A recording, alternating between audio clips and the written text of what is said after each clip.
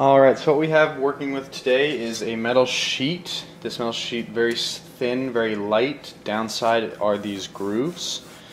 Um, it's something that most likely wouldn't just be very easy to pick up or work with and so with that in mind what we chose to go with is our VGS 3010 with a three-stage XI cartridge. It's going to get you that deeper vacuum as we know it's a sealed surface or the goal is to have it be a sealed surface. We don't need that flow. We're, we're using is the piGRIP with the foam lip attachment. Nice thing about this is that foam does come out fairly easily.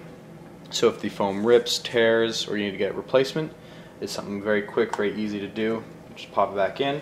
Let's go ahead and give it a test. As you can see, it seals, nothing's moving. I can jerk it around, it's not going anywhere.